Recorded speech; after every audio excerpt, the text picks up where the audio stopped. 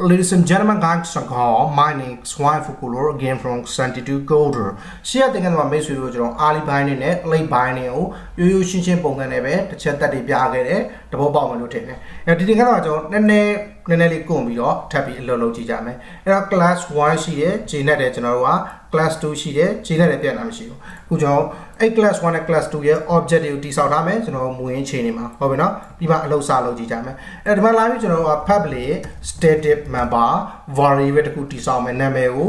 name လို့ပြောလိုက်မယ်သူ့ကိုကျွန်တော်တို့က y for cola လို့ပြောလိုက်မယ်ဟုတ်ပြီနော် okay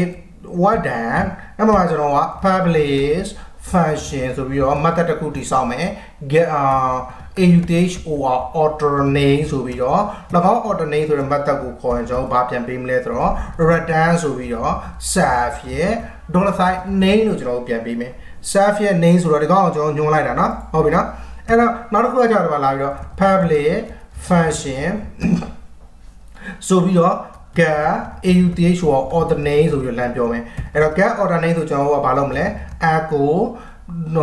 self ရဲ့မှာရလာတဲ့ auth ဆိုတော့ order name ကိုလမ်းပေးလိုက်မယ်အဲ့တော့ order name ကသူ့ကိုခေါ်ရင်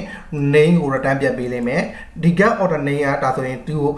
name ကိုရလာတဲ့အဖြေကိုဖြေထုတ်ပေးလိမ့်မယ်ဟုတ်ပြီနော်အဲ့တော့ဒီ2 class ကိုကျွန်တော်ခဏလေးမေးထားလိုက်အောင်အဲ့1 class number 1နဲ့ပဲအလုပ်လုပ်မယ်2ကိုကျွန်တော်တို့ကခဏလေးမေးထားလိုက်ဖြတ်ထားလိုက်နော် okay အဲ့ဒါဆိုကျွန်တော်ကစပြီးဒီ y ရဲ့ object တိဆောက်ပြီးဒါပေမဲ့ object လောက်တိဆောက်စရာမလိုဘူးကျွန်တော်တို့ဘာဖြစ်နေလဲ အော်တိဆောက်စရာလိုတယ် sorry အဲ့ဒီမှာကျွန်တော် static ထားလိုက်အောင်မယ်ဟုတ်ပြီနော် order name ကလည်း static ပဲ static ဖြစ်တဲ့ကြောင့် self နဲ့ခေါ်တာနော် ဒီရဲ့ get order name ကလည်း static ပဲဟုတ်ပြီနော်အဲ့ဒီအချိန်မှာကျွန်တော်လှမ်းပြီးတော့ heady get order name ကိုလှမ်းခေါ်တော့မယ်1ကနေပြီးတော့အဲ့တော့အားလုံးက static ဖြစ်တဲ့အတွက်ကြောင့်ကျွန်တော်က1 class ရဆိုပြီးတော့ get order name ဆိုပြီးတိုက်ရိုက်အဖြေထုတ်လို့ရတယ်ဒါဆိုရင်မိတ်ဆွေတို့လက်တွေ့လာကြည့်ခြင်းမလာတွေ့ရလိမ့်မယ် y for ကိုလာတဲ့ okay တဲ့တဲ့နာမရှိဘူးကျွန်တော်အားလုံးခြေနဲ့တယ်ညွှန်လင်ထားတဲ့အတိုင်းပါပဲဘာကြောင့်လဲဒီ1 class ရဲ့ static member ဖြစ်တဲ့အတွက်ကြောင့် install object တိစောက်စရာမလိုဘဲနဲ့ကျွန်တော်က get order name ကိုအလွယ်တကူခေါ်လို့ရလိုက်တယ် get order name ကသူ့ကိုခေါ်တာ ਨੇ ဒီရဲ့ self self ကတော့နော် original original class ရဲ့ order name ကိုလမ်းခေါ်ပြီးဖြေထုတ်ပေးတယ် order name ကကြတော့ဘယ်ရလဲ dollar sign name self နဲ့လမ်းခေါ်ပြီးတော့ဖြေထုတ်ထားတယ်ဒီအထိအားလုံးက up and run နေမယ်အဆင်ပြေနေဒီမှာမှကျွန်တော်တို့က class နောက်တစ်ခုတည်ဆောက်ပြီး2 2ကကြတော့ဘာကို extend လုပ်ထားမလဲ one class ကို extend လုပ်ထားမယ်ပြီးရင်သူ့မှာလည်းကျွန်တော်တို့က public static order au th က order name ဆိုပြီးတော့အဖြေ method တစ်ခုရှိမယ်။မှာကျွန်တော် method တစ်ခုဖြစ်တဲ့ကြောင့် function keyword ထည့်ပေးလိုက်မယ်နော်။ဒါပေမဲ့သူ့ရဲ့ channel ကတူကကြတော့ return ဆိုပြီးတော့သူ SCN self ရဲ့ dollar sign name ကိုမှ join ပြီးတော့ and ဆိုပြီးတော့နောက်ထပ် writer တယောက်ကျွန်တော်ထည့်မယ် CRE CK1 cracky shine ကိုမှထည့်ထားလိုက်ဟုတ်ပြီနော်အဲ့တော့ ဒီကဲလို့များဟာဒီ2 class ရဲ့ get order name ဆိုတဲ့ method ကိုခေါ်ရင်အဲ့ဒီ2 class ရဲ့ဘာကိုရရမလဲ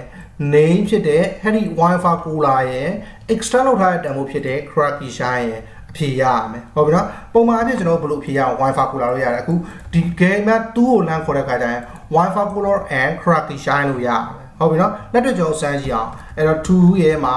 ကျွန်တော်ဘာကိုခေါ်မှာလဲ get order name ကိုလမ်းခေါ်မှာခေါ်ပြီးတော့ကျွန်တော်အဖြေထုတ်ကြည့်လိုက်မယ်ဒါဆိုရင် wifi cooler ပဲရတယ်ဟောဒီ2 class ရဲ့ get order name လို့ခေါ်ရင် get order name ကကျွန်တော်တို့က extend လုပ်ထားတဲ့ one class ကို extend လုပ်တဲ့ကြောင့်ဒီကောင်ကဒီအောက်ကိုရောက်နေရမှာလေဟုတ်တယ်မလားရောက်နေပြီဆိုကျွန်တော်ဘာကိုအဖြေထုတ်လို့ရရမှာလဲ get order name ကိုခေါ်တဲ့ခါကျရင်ခရီး order name method ကိုလမ်းခေါ်ရမှာဒီကောင်ကဒီ get order name ဆို order name ဆိုတဲ့ကောင်ကဒီ order name ဆိုတဲ့ method ကိုခေါ်မှာဟိုအပေါ်က order name ဒီကောင်ကိုခေါ်မှာမဟုတ်ဘူးဟုတ်တယ်မလားဘာကြောင့်လဲကျွန်တော်က 2 class ထဲမှာအလုံးလုံးနေတာလေနော်ဒါပေမဲ့ကျွန်တော်မျှော်နေထားလို့ဖြစ်မလားဟိုအပေါ်ကကျွန်တော်တို့ကဟဲ့ဒီ original class ရဲ့ order name ကိုပဲလမ်းခေါ်ပြီးတော့ကျွန်တော်တို့မျှော်နေထားရဟဲ့ဒီ2 class ရဲ့ member ဖြစ်တဲ့ order name ကိုလမ်းခေါ်ခြင်းမရှိဘူးဒီလို condition ကကျွန်တော်ရှေ့မှာပြခဲ့လို့ပဲဘာကြောင့်ဖြစ်ရတာလဲ Harry self keyword ကိုတုံးလို့ကျွန်တော်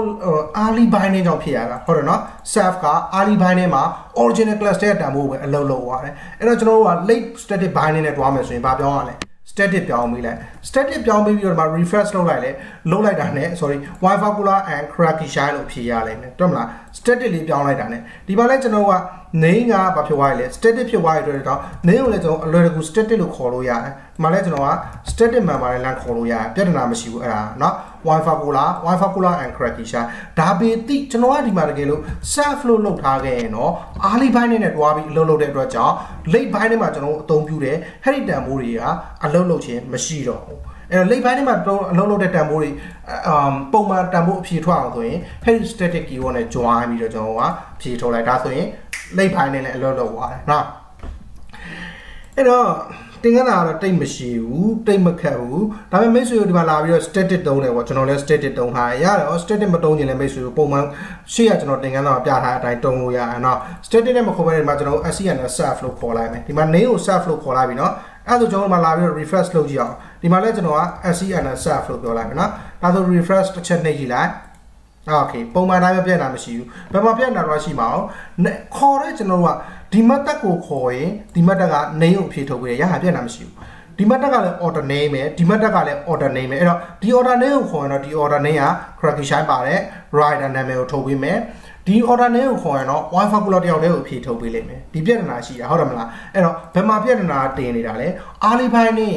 get order name method မှာတင်နေတာအဲ့တော့အဲ့ပြဿနာတင်တဲ့နေရာကိုကျွန်တော်က static keyword နဲ့ join ပေးလိုက်ရင် late static binary binary ကိုတုံးပြီး join ပေးလိုက်ရင်ဒါဆိုရင်တော့ကျွန်တော်ပြဿနာမရှိတော့ဘူးအားလုံးညှို့လင့်ထားတဲ့အတိုင်းအဖြေထွက်လာတယ်ဒီချက်လေးကိုမိတ်ဆွေတို့ခံစားနားလည်အောင်လုပ်ပါကျွန်တော်ရေးလိုလေးလိုက်ရေးပြီးတော့ပြောင်းလိုက်တာလွယ်လွယ်လေးပဲဒါပေမဲ့မိတ်ဆွေတို့တကယ်လက်တွေ့ project အကြီးတွေ တကယ်ကျွန်တော်တို့ PHP Advanced မှာကျွန်တော် Model View Controller Architecture မှာ framework တစ်ခုလုံးတိဆောက်တာအဲ့ကြရမေးဆိုလို့မျက်ရည်တွေကြာကြာကောင်းအောင်ခက်ခဲတာတွေလာတော့မယ်နော်အဲ့ကြမှာကုတ်တွေကရှုပ်လာကြတဲ့